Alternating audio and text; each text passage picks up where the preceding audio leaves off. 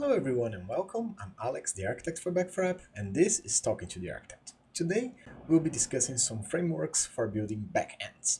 The first one we're going to see is Django. Django is a uh, framework that runs on the Python language and makes it really easy for you to build your backend.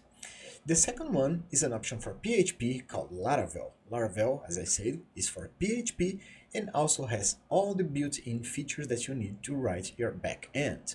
The third one is Ruby on Rails. It of course runs on Ruby, the Ruby programming language, and it also gets together all the functionalities that you need to build your backend. Then we have Express.js. Express.js works with Node.js, which is basically JavaScript, and also condensates all the functions that you might possibly need to publish your backend. It's very easy to uh, define your routes using Express.js, so it kind of took the way of uh, standard uh, products for JavaScript backends.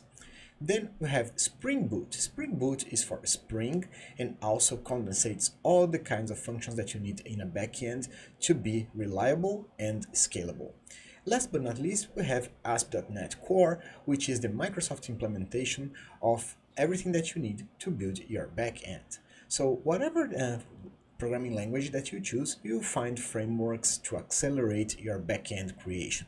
Here at Back4App, we use Express.js because our product is written in Node.js, so it's the standard that we use. But whatever uh, programming language that you choose, you'll find a very good back-end programming framework to help you build your web app. So I hope you liked this video. If you did, please click the like button and share this video with a friend so they can also learn something.